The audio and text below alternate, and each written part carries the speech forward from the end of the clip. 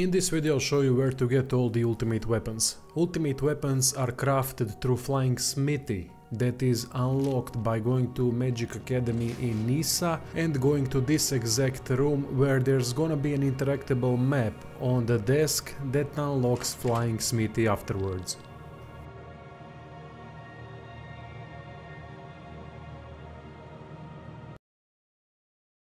Go to the Flying Smithy and there you can craft ultimate weapons by giving him Rusty Weapon plus Soul of Farnese.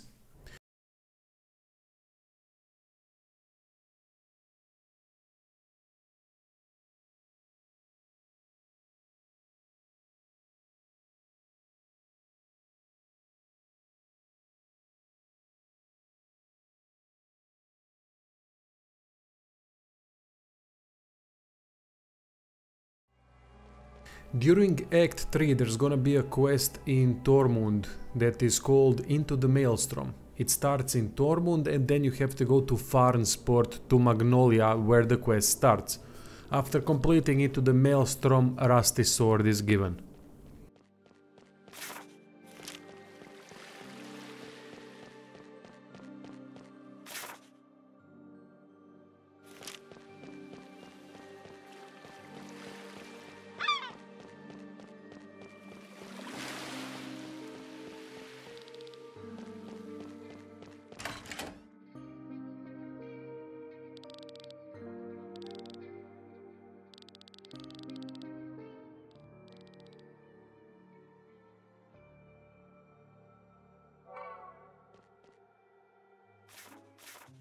Rusty Bow is a reward for side quest called No Place for Happy Endings.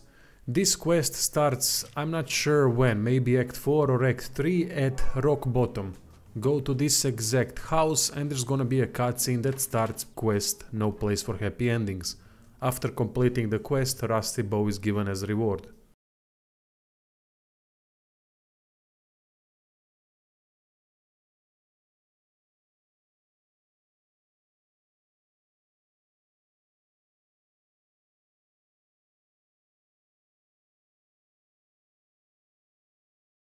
After sky armors have been unlocked you can go to Rohlan Fields northwestern part and in one of the chests there's gonna be manor key. After collecting the manor key go to the manor that is in the middle of the map and follow the path in the video to reach Rusty Rapier.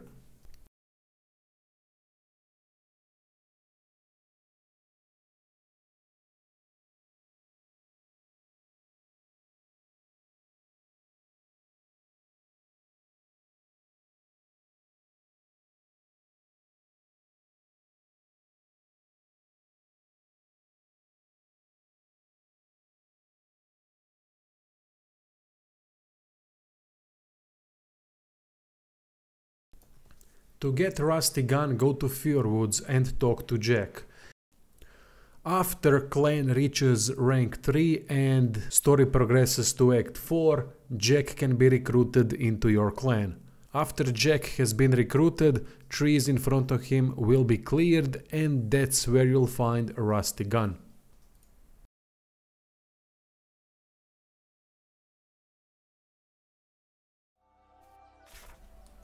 Rusty Gunspear can be found in northeastern Shambhala. Quite easy to get, land on top of the nearby island and drop down to get to this red chest that contains Rusty Gunspear.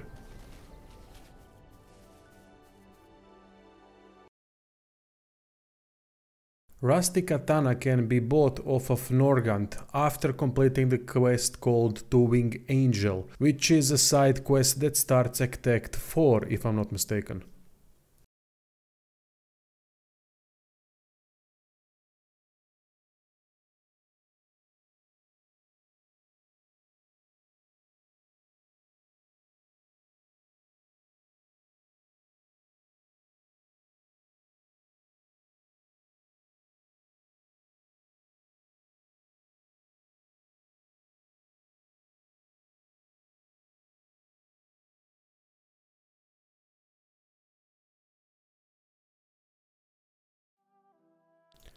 Rusty Anchor can be found on a hidden island after completing quest called A Little Vacation.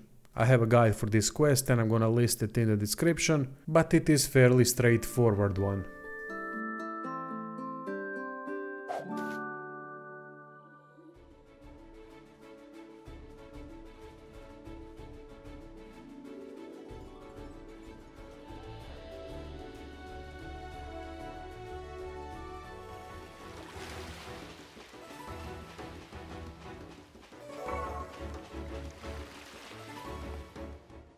Rusty Spear and Rusty Amulet can be found in Leonhard Tombs, which are part of Leonhard challenges.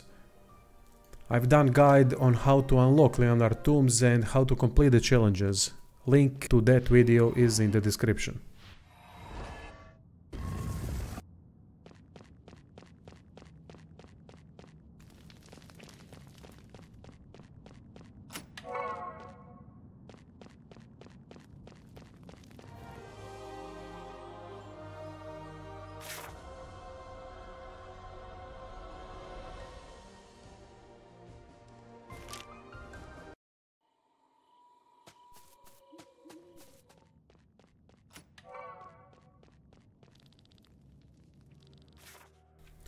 To get Rusty Greatsword, first you have to collect Elevator Key, which is in Magic Academy of Nissa, in that same room where you have collected Flying Smithy map.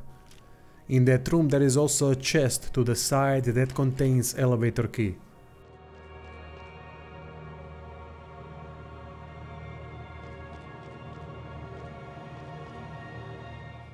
Upon collecting the elevator key, go to Ramina's tower and use it on the elevator that you really can't miss as it is part of the story progression.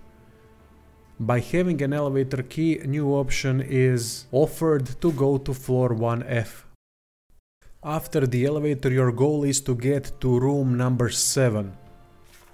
There is going to be another elevator there which you need to take down as that leads to another exit to Grain Grottos and also secret merchant that sells Rusty Greatsword.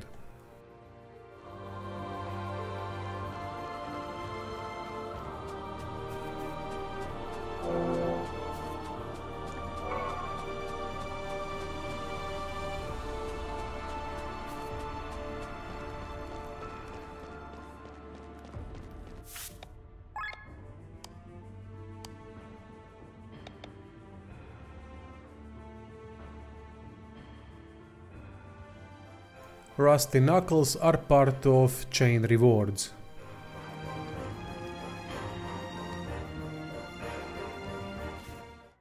Rusty cards are obtained after defeating all the unique monsters in the game. Go to the Adventurers Guild and they are going to give you Rusty cards after clearing all the unique monsters.